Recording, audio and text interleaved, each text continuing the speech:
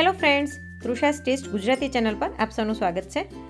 રાત્રે બાળકો હોય કે મોટા હોય, શાક રોટલી લગભગ કોઈને નથી ભાવતા હોતા. દરેકને કંઈક ને કંઈક વેરાયટી જોઈએ છે. પણ આપને એમ થાય કે કંઈક હેલ્ધી ખવડાવીએ. તો આજે શાકભાજીથી ભરપૂર ઘઉંના લોટના એક સરસ મજાના નવા જ પ્રકારના આપણે પરોઠા બનાવીશું, જે નાનાથી લઈ મોટા સૌને ખૂબ જ ભાવશે અને બનાવવામાં પણ ખૂબ જ સરળ છે. પણ આજની આ રેસીપી શરૂ કરીએ તે પહેલાં જો તમે મારી ચેનલ પર નવા હો, તો પ્લીઝ મારી ચેનલને સબસ્ક્રાઈબ કરી બાજુમાં આપેલ બે લાઇકનને ઓલ પર કરી નાખજો, જેથી દરેક વિડીયોની નોટિફિકેશન તમને મળતી રહે. તો ચલો, શરૂ કરીએ આજની રેસીપી અહીં મેં થાળીમાં થોડુંક શાકભાજી લીધું છે, જેમાં મેં ખમણેલું ગાજર, ખમણેલું ફુલાવર, ઝીણું સુધારેલું કેપ્સિકમ અને ઝીણી સુધારેલી ડુંગળી લીધેલી છે. બધું જ આશરે મેં અડધા કપ જેટલું લીધેલું છે. આ બધા જ શાકભાજીને આપણે એક મિક્સિંગ બાઉલમાં કાઢી લઈએ. તમે અહીં શાકભાજીમાં તમારી ચોઈસ પ્રમાણે વેરિએશન કરી શકો છો, પણ એકદમ ઝીણું સુધારેલું લેવાનું, નહીતર પરોઠા વણતી વખતે ફાટી જશે. હવે આની અંદર સ્વાદ પ્રમાણે મીઠું નાખી દઈએ. તેની સાથે પાણીમાં પલાળેલી કોથમીર નાખી દઈશું. અડધા કપ જેટલી કોથમીર મેં લગભગ અહીં લીધેલી છે. તેની સાથે ઝીણું સુધારેલું તીખું લીલું મરચું એડ કરી દઈએ. જો તમે સ્પેશિયલ બાળકો માટે બનાવતા હોય, તો મરચું એડ ન કરો તો પણ ચાલે. અને હવે એક વખત આ બધાને હલાવીને બરાબર મિક્સ કરી લઈશું. તો જો આ બધું સરસ મિક્સ થઈ ગયું છે. હવે આને થોડીક વાર સાઈડમાં રાખી દઈએ અને લોટ બાંધી લઈએ.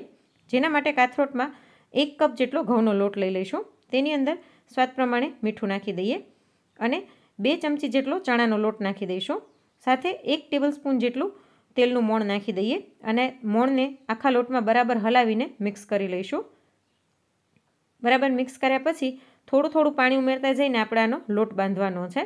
આનો લોટ આપણે નોર્મલી જે પરોઠાનો બાંધતા હોય એટલો કઠણ નથી બાંધવાનો. આપણે રોટલીનો જેવો લોટ બાંધતા હોઈએ તેવો જ બાંધવાનો છે. જો તમે મીઠાવાળી રોટલી બનાવતા હોય અને રોટલીનો લોટ રાતનો બચ્યો હોય તો તમે સવારે બાળકોને નાસ્તામાં પણ આ પરોઠા બનાવીને દઈ શકો છો.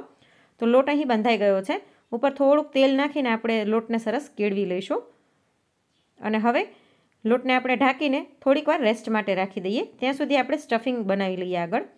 જો આપણા સ્ટફિંગને રેસ્ટ થતાં દસેક મિનિટ થઈ ગઈ છે અને આમાંથી સરસ પાણી છૂટું પડી ગયું છે, તો હવે આપણે એક ગરણા ઉપર કોટનનું કપડું રાખી દઈશું અને તેની અંદર આ બધું જ સ્ટફિંગ નાખી દઈએ. અને આની અંદરનું બધું જ પાણી આપણે દબાવીને, નીચોવીને કાઢી લઈશું. કેમ કે નહીતર પરોઠા વણતી વખતે ફાટતા જશે. અને આ જે પાણી નીકળ્યું છે તેને ફેંકવાનું નહીં. તમે જો બિરયાની કે પુલાવ બનાવતા હોય તો તેમાં પાણીનો ઉપયોગ કરી શકો છો. તો અહીં મેં જેટલું નીચોવાય એટલું પાણી બધું જ આનું નીચોવી લીધું છે. હવે આપણે સ્ટફિંગને એક બાઉલની અંદર લઈ લઈએ અને તમે જોઈ શકો છો કે એકદમ સરસ ડ્રાય થઈ ગયું છે. આટલું જ ડ્રાય હોવું જોઈએ, આમાં પાણીનું પ્રમાણ વધારે ન હોવું જોઈએ. તો હવે આની અંદર આપણે થોડાક મસાલા કરી લઈએ. એક ચમચી લાલ મરચું પાવડર અડધી ચમચી હળદર, એક ચમચી ચાટ મસાલો અને સાથે અહીં મેં મેગી મસાલા એ મેજિક જે આવે છે તેનું પાઉચ લીધેલું છે. એક પાઉચ આપણે આની અંદર એડ કરી દઈશું. આનાથી સ્ટફિંગનો ટેસ્ટ ખૂબ જ સરસ આવશે. અને હવે આ બધાને હલાવીને બરાબર મિક્સ કરી લઈએ. આપણે પહેલાં મીઠું ઉમેરીને પછી પાણી કાઢ્યું હતું એટલે મીઠું ઉમેરવાની જરૂર નહીં પડે. છતાં તમે ચાખીને જો જરૂર લાગે તો મીઠું એડ કરી શકો છો. તો એકદમ ચટપટું અને ટેસ્ટી આપણું સ્ટફિંગ તૈયાર થઈ ગયું છે. હવે આપણા લોટને રેસ્ટ થતાં થોડોક ટાઈમ થઈ ગયો છે. આપણે લોટને સહેજ કેળવી લઈશું. અને ત્યારબાદ રોટલી જના માપનો એક લુઓ તોડીને તેને કોરા લોટમાં રગદોડીને એકદમ પાતળી અને મોટી રોટલી આની વણી લઈએ. તો જો અહીં મેં એકદમ મોટી રોટલી વણી લીધી છે. હવે આની ઉપર આપણે આછું આછું તેલ લગાડી દઈશું. તમે ઈચ્છો તો ઘી પણ લગાડી શકો છો અથવા તો બટર પણ લગાડી શકો છો. તો જો અહીં મેં તેલ લગાડી લીધું છે. હવે આપણે જે સ્ટફિંગ બનાવીને રાખ્યું હતું, તે આખી રોટલીમાં વ્યવસ્થિત ફેલાવી દઈશું. તમે મિક્સ વેજ પરોઠા તો ઘણી વખત બનાવ્યા હશે, પણ આજે હું તમને જે રીત બતાવવાની છું, એ રીતથી લગભગ તમે ક્યારેય નહીં બનાવ્યા હોય. તો જો અહીં મેં આખી રોટલી પર સ્ટફિંગ પાથરી દીધું છે. હવે તેની ઉપર આપણે બીજી રોટલી મૂકી દઈએ. આના બે રોટલીના છેડા છે તે ચોંટાડી દઈશું. સહેજ આપણે સાઈડમાંથી ખેંચી લઈશું. અને વ્યવસ્થિત આને એકદમ દબાવી દઈએ. હું તમને થોડુંક નજીકથી પણ બતાવી દઉં. તો જો એકદમ સરસ આપણું સ્ટફિંગ ઢકાઈ ગયું છે. હવે આપણે જેવી રીતના કાપા કરતા હોઈએ ઢોકળી બનાવવા માટે એવી રીતના લાંબા લાંબા કાપા કરી લઈશું આની ઉપર. કાપા કર્યા પછી આપણે આના રોલ બનાવવાના છે. આવી રીતના પરોઠા બનાવવાથી આખા પરોઠામાં સ્ટફિંગ એકદમ સરસ પથરાયેલું રહેશે અને આખા પરોઠામાં સ્ટફિંગનો સરસ ટેસ્ટ આવશે. તો એક રોલ વાળીને આપણે બીજી પટ્ટી ઉપર મૂકી દઈશું અને બીજો રોલ વાળી દઈશું. તમારે જેવડી મોટી સાઇઝના પરોઠા બનાવવા હોય એવી રીતના તમે આની ઉપર રોલ સ્ટીક કરી શકો છો. હું બહુ મોટા પરોઠા નથી બનાવવાની, નાના નાના બનાવવાની છું એટલે ત્રણ જ પટ્ટીને એવી રીતના રોલ વાળું છું. તમે ઈચ્છો તો આખું જે આપણે પરોઠું કટ કર્યું છે, બધા જ રોલ એકસાથે વાળીને એક જ પરોઠું બનાવી શકો છો, પણ હું આમાંથી બે પરોઠા બનાવીશ. તો આટલા નાના નાના અત્યારે હું રોલ બનાવી રહી છું. એવી જ રીતના આ બીજો રોલ પણ બનાવી લઈશું. તમે ઈચ્છો તો પહેલાં જેટલો લોટ છે એટલા બધાના એવી રીતના રોલ બનાવીને ગોણા કરીને પછી પરોઠા વણી શકો છો. તો જો અહીં બે રોલ વાળી લીધા છે. હવે આપણે આને દબાવી દઈશું. આપણે જેટલું સ્ટફિંગ અને લોટ બાંધ્યો છે તેટલામાંથી આવડી સાઇઝના લગભગ નવથી દસ પરોઠા બનીને તૈયાર થશે. આપણે વ્યવસ્થિત આને દબાવી દઈશું. તો આવી રીતના તમે પહેલાં બધા જ ગોળા બનાવીને રાખી દો અને પછી એકસાથે પરોઠા વણો તો પણ ચાલે. હવે થોડોક કોરો લોટ છાંટીને આપણે પરોઠું વણી લઈશું. એકદમ હળવા હાથે આપણે વણવાનું છે.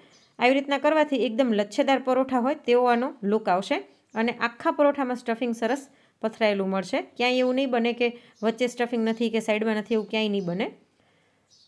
આપણે હળવા હાથે આને વણી લઈશું. વચ્ચે થોડોક લોટ છાંટતા જઈશું. જેથી સ્ટફિંગ છે તે વેલણ ઉપર ચોંટે નહીં. અને સાઈડમાં આવી રીતના સહેજ દબાવતા જઈશું. કેમ કે કેપ્સિકમ ને ડુંગળીને બધું છે એટલે સહેજ આવી રીતના સાઈડમાંથી ફાટતું જશે તો આપણે એને હાથેથી દબાવતા જવાનું. તો જો અહીં મેં એકદમ સરસ પરોઠું વણી લીધું છે. અને તમે જોઈ શકો છો કે દેખાવમાં કેટલું સરસ લાગી રહ્યું છે. તો હવે આપણે આ પરોઠાને શેકી લઈએ. તવા ઉપર પરોઠું નાખી દઈશું અને પહેલું પણ આછું ચડે ત્યારબાદ આને પલટાવી દઈએ. અને આ બાજુ આપણે તેલ લગાડી દઈશું. ગેસની ફ્લેમ આપણે મીડિયમ રાખવાની છે. મીડિયમ ટુ ફૂલ ફ્લેમ પર આપણે આને શેકી લઈશું. તમે ઈચ્છો તો ઘી કે બટર પણ લગાડી શકો છો. હવે પલટાવીને બીજી સાઈડ પણ આપણે આછું આછું તેલ લગાડી દઈએ. અને બંને સાઈડથી એકદમ સરસ ગોલ્ડન બ્રાઉન કલર આવે ત્યાં સુધી પરોઠાને શેકી લઈશું. આ પરોઠા તમે સવારે બાળકોને લંચ બોક્સમાં બનાવીને પણ દઈ શકો છો. બાળકો આમ શાકભાજી નથી ખાતા, પણ આ પરોઠા એમને જરૂરથી ભાવશે. તો જો આપણું પરોઠું એકદમ સરસ તૈયાર થઈ ગયું છે, આવી જ રીતના બધા પરોઠા તૈયાર કરી લઈશું. અને હવે ગરમા ગરમ પરોઠાને આપણે સર્વ કરી દઈએ.